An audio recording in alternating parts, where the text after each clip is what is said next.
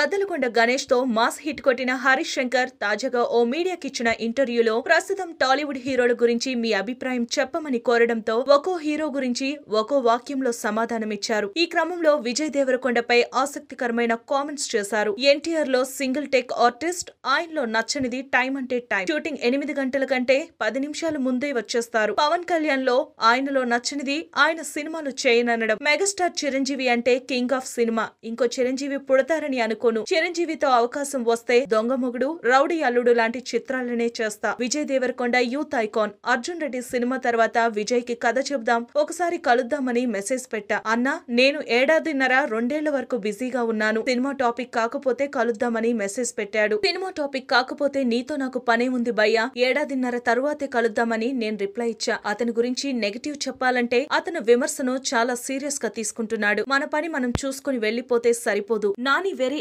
Expressive. Raviteja నా life ఆయన లేకుండా నా లైఫ్ని ఊహించుకోలేను. జీవితం పట్ల సినిమా పట్ల ఫుల్ క్లారిటీతో ఉంటాడు. రవితేజలో నెగటివ్ అని చెప్పలేం. రామ్ చరణ్ పవర్ హౌస్ లాంటి వాడు చిరుతలో చూసిన చరణ్కి రంగస్థలంలో చరణ్కి చాలా తేడా ఉంది. ఇన్స్పిరేషన్ అతను. సాయి ధర్మ్ తేజ్ అంటే నాకు చాలా ఇష్టం. అతనితో సినిమా చేస్తున్నప్పుడు కొన్ని కొన్ని షాట్లలో అలా చిరు వచ్చి వెళ్ళినట్టుగా అనిపిస్తుంది. Varun Tej pan India cutout అంటూ చెప్పుకొచ్చారు హరీష్. మరిన్ని ఇలాంటి లేటెస్ట్ అప్డేట్స్ కోసం చూస్తూనే ఉండండి మీ శరణ్ టీవీ.